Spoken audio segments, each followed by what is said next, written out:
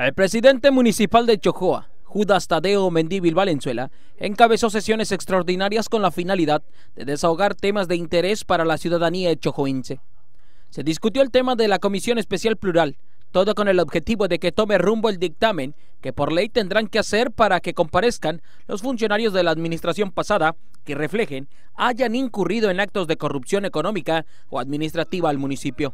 Otro punto de acuerdo que se dio fue en la que por mayoría absoluta los ediles dan plena confianza al presidente municipal para que sea él quien designe a los comisarios. Aquí, después de analizar y debatir el punto referido, los regidores Benjamín Rivera y Sergio Salido dieron su voto en contra y pidieron que el método a usar fuera abierta y por consulta ciudadana.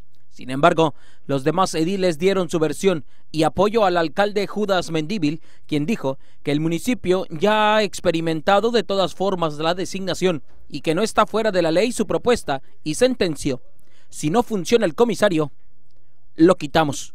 Con edición de Manuel Bracamontes, informó para las noticias Alejandro Ramos.